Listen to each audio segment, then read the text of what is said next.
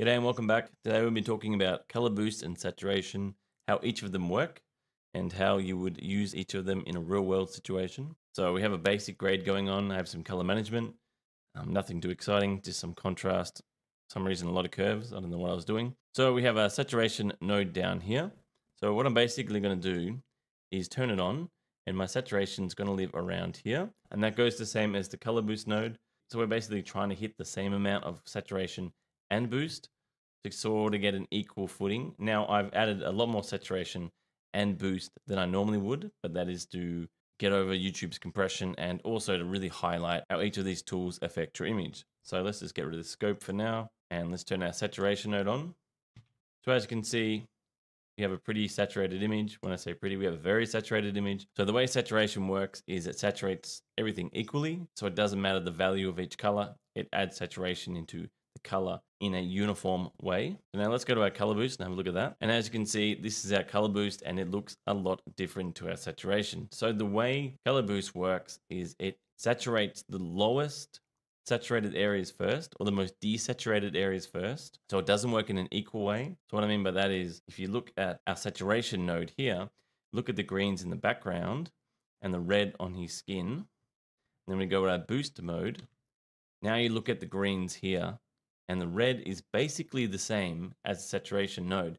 And that is because in the greens, in our saturation node, they are the least most saturated part. So when we're using boost, again, back to our boost node, so we're adding saturation into the areas that have the least amount of saturation in them. If we bring up our vector scope, we'll do a real world situation here using boost. But what we're going to do is we're going to go to our saturation node. So if we look at our saturation node here, as we can see, make this a little bit bigger. As we can see, our red is going above the legal limit.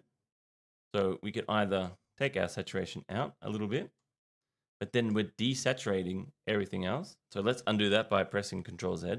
Now, if I wanted to just take the most saturated part out of this image, which looks to be the red here, all I would do is come down to the boost and instead of going right, which adds more color in, of course, we would go to the left and that would desaturate those areas that are the most saturated.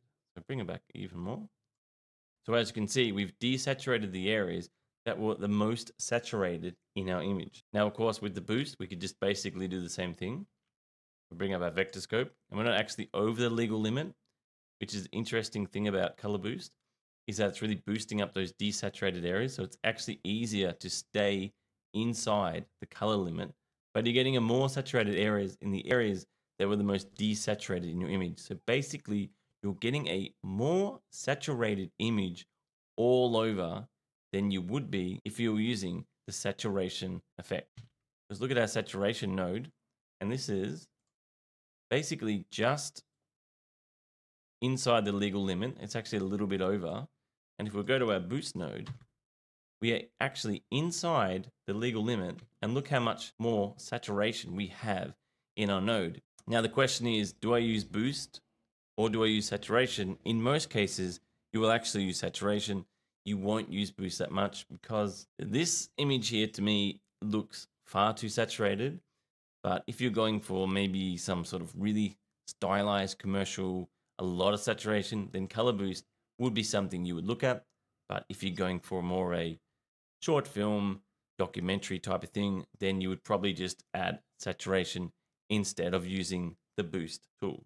So I hope that is a good answer for boost versus saturation. If you have any questions, leave them below. I'm more than happy to answer. And thanks for watching.